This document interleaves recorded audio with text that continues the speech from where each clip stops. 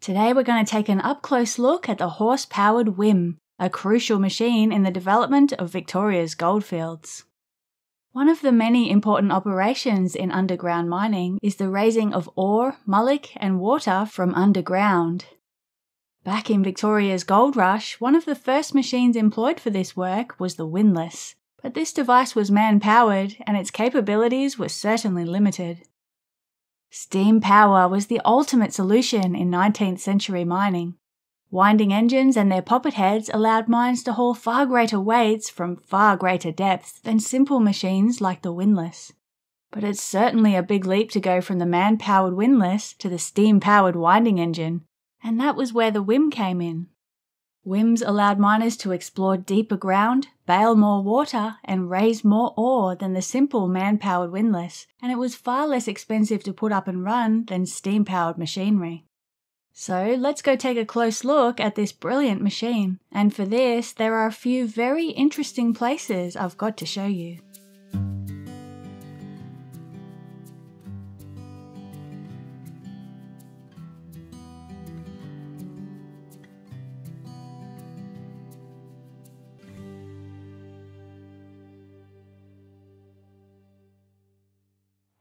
I'm here at the Stawell Historical Society and Museum, where there's a brilliant model of a horse powered whim on display.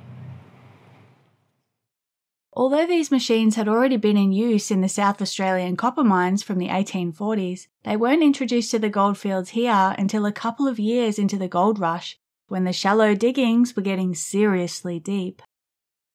This was a direct transfer of Cornish mining technology and there's an interesting story of its history in Cornwall.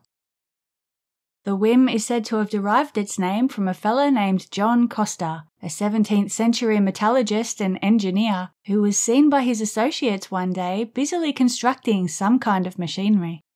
When questioned about it, he replied, I have a whim in my head and am trying to reduce it to practice. Interestingly, one of the obsolete meanings of the word whim was a fanciful or fantastic creation. Coster's fanciful creation was regarded with amusement and sarcasm at first, but as it approached completion, the value of the device became clear, and these machines were soon widely used in Cornwall. But the concept was certainly not a new one. Similar devices were used as early as 300 BC in Greece for turning rotary mills, and 100 BC in Rome for grinding grain and crushing olives.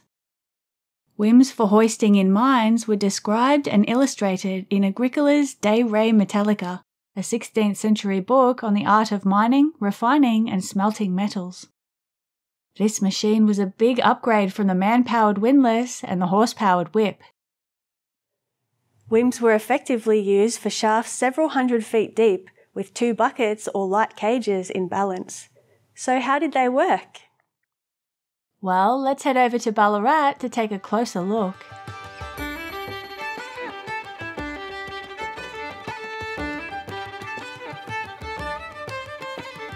This is Sovereign Hill, a remarkable replicated goldfields town complete with shops, hotels, gold diggings, and underground mines to explore.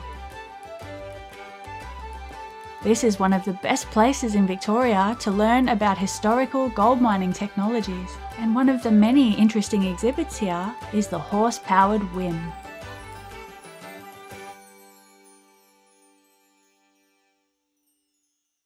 The main component of the whim is this large drum, which is constructed using thin wooden slats. The drum is fixed to a vertical pole, which is supported by a strong frame. The rope is wound horizontally around the drum several times, and each end of the rope is passed over pulleys and run down the shaft. Beneath the drum is a long beam to which a horse is harnessed. When the horse walks in circles, the drum turns and one end of the rope is lowered while the other end is raised. This allowed miners to lower an empty bucket down the shaft while raising a full bucket to the surface. By turning the horse so it walks around in the other direction, the buckets can be continuously raised and lowered in turns. This was the most efficient arrangement, but some whims worked with only a single bucket. Horses were worked very hard on the goldfields. Whims and puddling machines had them walking endless circles.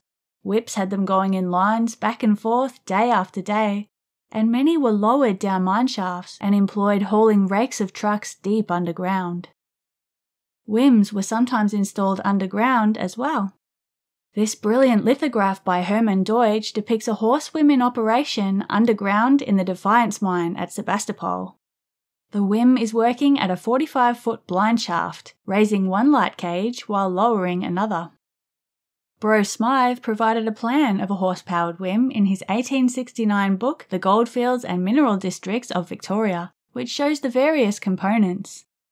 He also included this section of a whim shaft, which shows the whim, poppet heads, and the rope running down the shaft.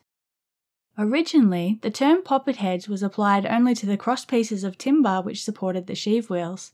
So, although it wasn't a typical poppet head as we think of it today, a whim had poppet heads too.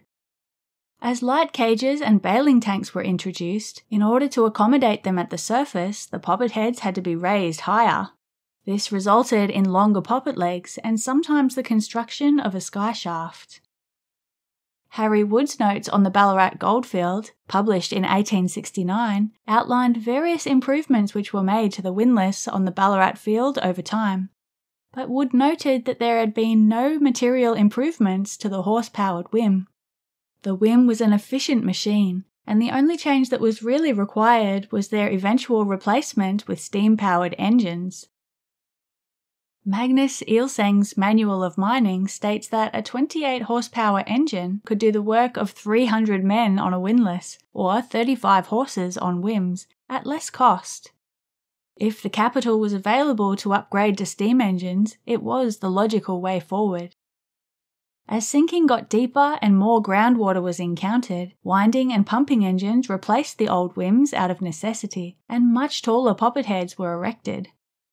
This interesting postcard from the early 20th century shows the old and new technologies, with a derelict whim in the foreground and a poppet head behind it. But even once steam powered machinery was everywhere on the goldfields, the whim still had its place. The machine was a crucial intermediate step in the development of many mines, allowing them to work and produce gold while raising the capital required for a machinery upgrade. Even when companies had the capital, a whim was often used to get started with shaft sinking before a winding engine was brought to the site. There are some fantastic photos of horse powered whims in use across the goldfields, and one of the best is this panorama of Stawell, where we can see many whims, some abandoned and some still in use. I've got another video which explores some of the machinery shown in this image, which you may be interested to check out. I'll put a link to that in the description. Today, it is rare to come across the remnants of a whim site, and if you do, you may not even notice it, as all that's typically left is a flat platform where the whim once stood and the horse walked its endless circles. Here you can see the remains of an old whim platform, and you can certainly see how these are easily overlooked. A haunting poem was written about an old whim horse by Edward Dyson. It's quite lengthy, so I won't read it in full, but here are a few select verses. All the hands have gone for the rich reef paid out, and the company waits till the calls come in. But the old grey horse, like the claim, is played out, and no market's near for his bones and skin. So they let him live, and they left him grazing by the creek, and oft in the evening dim. I have seen him stand on the rises, gazing at the ruined brace and the rotting whim. See the old horse take, like a creature dreaming, on the ring once more his accustomed place but the moonbeams fall on the ruins streaming, show the scattered timbers and grass grown brace. Yet he hears the sled in the smithy falling, and the empty truck as it rattles back, and the boy who stands by the anvil calling, and he turns and backs, and he takes up slack. He hears in the sluices the water rushing as the buckets drain and the doors fall back.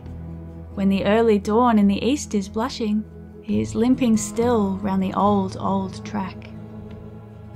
Now he pricks his ears with a neigh replying to a call unspoken with eyes aglow, and he sways and sinks in the circle, dying. From the ring no more will the grey horse go. Horsepower was a crucial step in the development of the Victorian goldfields, but it sometimes came at a great cost to the welfare of these beautiful animals. This video is dedicated to all the horses who worked on the goldfields, work which made it possible for miners to explore deeper ground, process more material, bale more water, and raise more ore. I'd like to say a huge thank you to the folks at the Stawell Historical Society, to Sovereign Hill, and to Sandy Creek Clydesdales. I'll put links to all three in the description below.